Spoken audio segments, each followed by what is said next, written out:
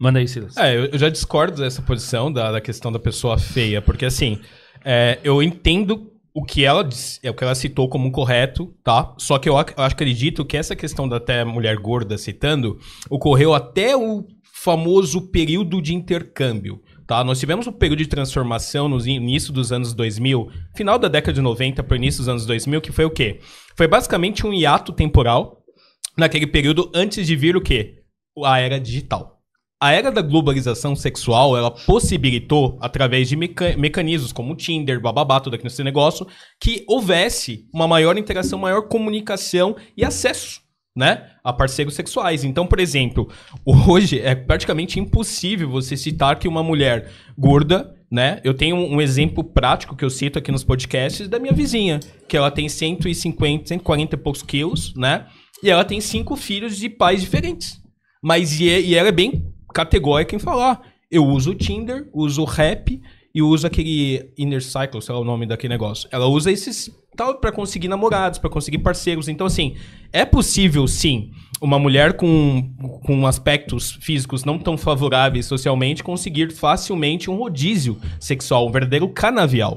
Já com o homem, eu já penso assim, tá? Eu não gosto muito de entrar muito na esfera do vitimismo, mas o homem, por exemplo, ele vai ter uma maior dificuldade, porque o homem, eh, voltando até à pergunta original, o homem acaba sendo mais discriminado. Por que ele é mais discriminado? Porque ele é mais cobrado. O homem é, é muito associado à fraqueza. Quando o homem não tem sucesso no mercado sexual, ele significa que ele é um cara fraco. Eu peguei um, um, um Blabacar esses dias com uma menina, e a menina falou pra mim, pra mim, um homem que não consegue sexo, ele é um homem fraco. Ele é um homem que tem que ser rejeitado socialmente e tem que ser excluído da sociedade. Eu falei assim, mas por quê? Ela falou, porque se ele não consegue sexo naturalmente, ele não vai ter prosperidade, prosperidade financeira, ele não vai ter prosperidade profissional. Então, elas começam a associar mentalmente que... Mas, meu Deus, tu achou uma nazista Não, nesse é, é, é, não, guria com, com esse tipo de pensamento. E- Meu Deus e eu, eu praticamente vivo naquele filme O Terminal, né, com o Tom Hanks, porque eu tô lá sentado e eu vejo pessoas partindo, pessoas iniciando um ciclo sexual, iniciando aqui, e eu tô sem nada, tá ligado? Eu nunca consigo partir, entendeu? nunca consigo engajar em nada, então eu tô naquele filme Terminal. E aí o que que eu vejo? Essas situações... Eu falo, eu não participo. O homem é, feio mesmo, como eu tenho muitos meninos e amigos tal, que estão na mesma, mesma situação que eu, mesmo patamar. Ele acaba sendo mais discriminado, ele acaba sendo mais rejeitado. Isso aí, gente, não dá pra gente ignorar. Pra gente pegar e falar assim, ó, o Silas tá sendo vitimista, vitimista, porque não é isso. E ele é sempre humilhado, né? A mulher, eu vou te dar o exemplo, tá?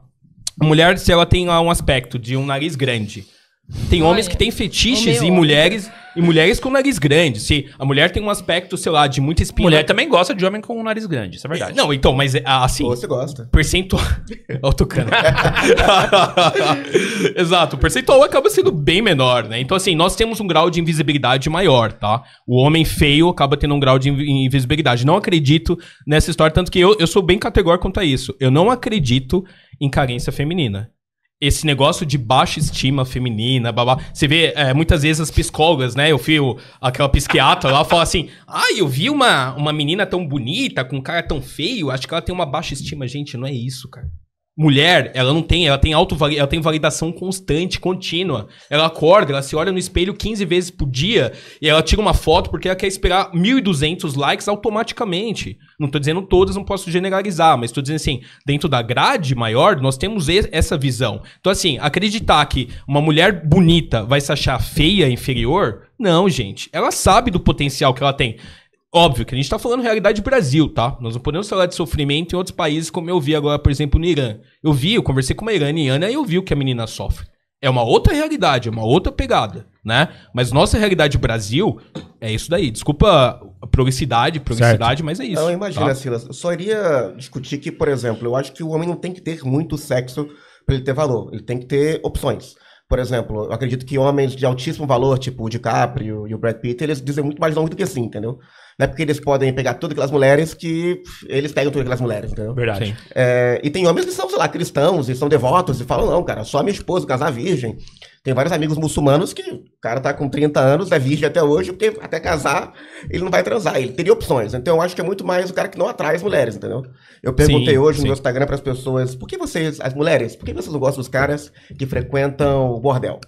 Baseado no seu podcast aqui no Redcast, né? Isso, perfeito. Aí elas disseram, cara, esse cara é fraco. O que você falou, eu tive um, um bias confirmation ali de, sei lá, cara, todas elas não. Esse cara ou é fraco, ou é nojento, não quero. É viciado em sexo. É. Então, tem sim um ponto de verdade. Agora, eu só acredito que tem sim a exclusão da mulher que é muito feia.